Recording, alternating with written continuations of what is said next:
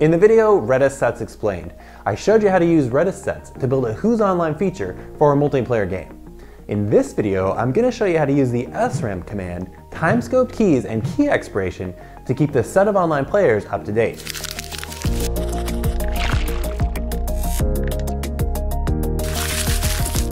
Sets work great for a Who's Online feature, but we need a way to remove players from the online set when they exit the game.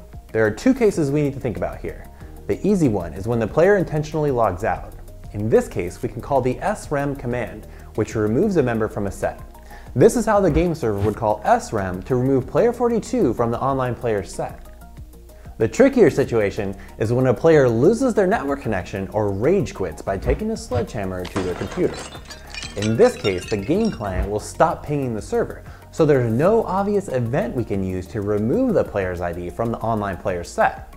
So, to ensure the ID eventually gets removed, we're going to use a common key expiration pattern that employs a sliding window of sets. Instead of using a single set to keep track of who's online, we'll be creating a new set every five minutes. So each set will be scoped to a particular five minute window. When a player comes online, we'll add their ID to the set for the current five minute window and to the set for the next five minute window. To display who's online, we'll always read from the set scoped to the current five minute window. What this means is that the current 5 minute window will only contain the IDs of players whose game client has pinged the server in the past 5 to 10 minutes. Since we're only using each set until its 5 minute window completes, we ensure that each set is expired and is deleted at that time. Okay, let's walk through an example of how this works in practice. Let's say player 42 comes online. The game server will add the ID 42 to the set for the current 5 minute window. The key for this set is time scoped to its window. To do that, we're using a naming convention of players colon online plus a colon plus the UTC hour and minute at which the window starts. The server also adds the ID 42 to the set for the next window. We add the player's ID to the set for the next window so that the next set isn't empty when we start reading from it.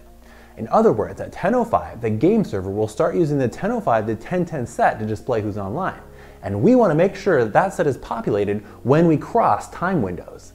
Now, after we add the player's ID to each of these sets, we also run the EXPIREAT command, which sets an expiration time for the key. The time is given as a Unix timestamp. To check who's online, we'll use the sismember command to read from the set for the current 5 minute window. Redis returns 1, which means player 42 is online. As I said at the start of this video, there are many ways to solve this problem. Our solution here has one caveat. If a game client crashes, the game might show the player being logged in for 5 to 10 minutes, depending on where we are in the window. On the flip side, players are visible from the moment they log in. This approach is also simple to build and doesn't require any external processes to remove player IDs from the online player sets. Other solutions have different trade-offs. Check back soon for another approach that uses sorted sets. Okay, we've just seen how to use the srem command timescope keys, and key expiration to keep the set of online players in a multiplayer game up to date.